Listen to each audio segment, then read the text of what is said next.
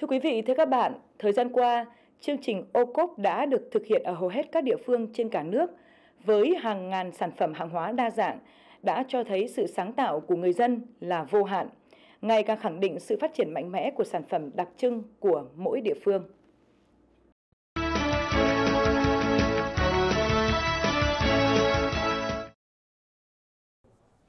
Năm 2019 đã có 12 địa phương được lựa chọn hỗ trợ xây dựng điểm giới thiệu và bán sản phẩm ô cốp. Các hoạt động xúc tiến thương mại kết nối cung cầu cho các điểm giới thiệu và bán hàng ô cốp cũng được triển khai mạnh mẽ.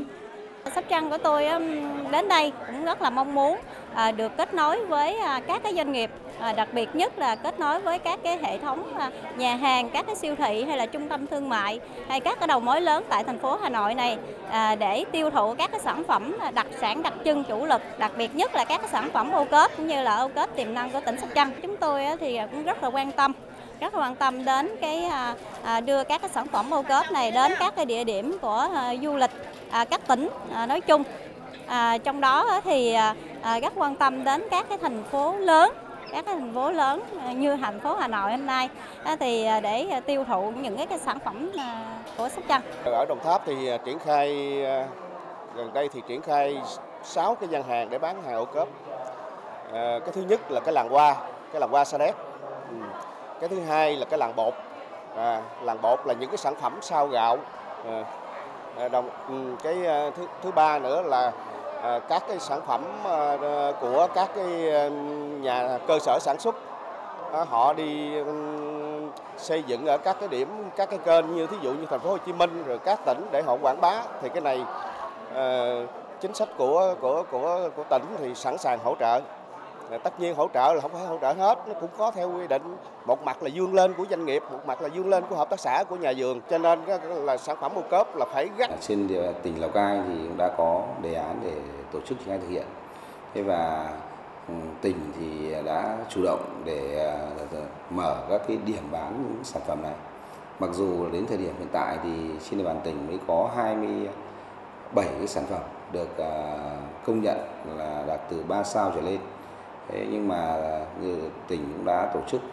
à, về mặt à, cái điểm bán ấy, thì chúng tôi đang có ba cái điểm bán. Mà một cái à, điểm bán là chúng tôi à, lồng ghép với lại cái điểm bán cái, cái, à, cái, cái cửa hàng giới thiệu sản phẩm à, hàng Việt Nam mà mang thương hiệu cái theo chương trình của bộ là tự hào hàng Việt. Thế và được sự quan tâm của tỉnh thì đã giao cho hội nông sản của an toàn của tỉnh làm hai cái điểm bán à, đàng ô góp này một điểm à, tại thành phố Lào Cai và một điểm tại huyện Sapa nơi mà chủ yếu là rất tập trung rất thu hút rất là đông khách du lịch trong và ngoài thực hiện cái à, quầy à, thí điểm giới thiệu các cái sản phẩm ô cốp của tỉnh Quảng Bình cũng như là thực hiện những cái chương trình tuyên truyền quảng bá về cái sản phẩm ô cốp của Bộ Công Thương trên địa bàn tỉnh. Và với cái điểm uh, ô cốp 97 Trần Hưng Đạo của ờ, thành phố Đồng Hới này, thì chúng tôi cũng muốn ở đây là một cái điểm đầu tiên và là một cái điểm nhấn để lan tỏa ra toàn tỉnh và cũng là ờ, lan tỏa ra các cái địa bàn của các ờ, huyện, thị xã trên địa bàn của tỉnh và cũng như là cái nơi để mà tập trung các cái doanh nghiệp, các cái cơ sở sản xuất có cái chất lượng và có cái uy tín của tỉnh về nông sản để tiến đến là chúng tôi sẽ xây dựng được một cái chuỗi các cái cửa hàng à, giống như An Nông Farm cũng như là các một cái chuỗi các cái kênh phân phối các cái sản phẩm ô cốp trên địa bàn của tỉnh Quảng Bình.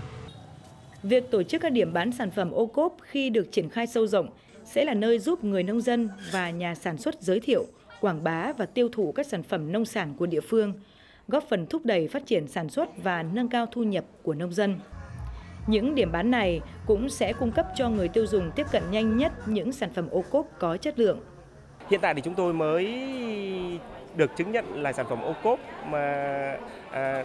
của tỉnh Thanh Hóa. Cái chương trình của ô cốp của tỉnh Thanh Hóa thì mới bắt đầu nên chúng tôi cũng đang kỳ vọng là bằng cái sự nỗ lực của chính doanh nghiệp, à, bằng cái cải tiến chất lượng cũng như là sự hỗ trợ của cái uh, chương trình ô cốp thì cái sản phẩm ô cốp có thể tiếp cận nhiều hơn qua các kênh phân phối à, có cái thể kênh phân phối điểm bán à, hiện đại qua kênh du lịch. Hy vọng là nó sẽ đủ sức lan tỏa. Cơ sở cũng mới được à, cấp cái chứng nhận là sản phẩm ô cốp là 3 sao ạ. Và cũng rất là khó khăn trong cái việc tìm kiếm các cái cái đối tác để cung cấp cái sản phẩm của mình. Thì vì vậy là cũng rất là khó khăn rất mong uh, muốn để tìm được uh, vào các cái hệ thống siêu thị và các cái cơ sở uh, sản phẩm sạch của thành phố Hà Nội ạ.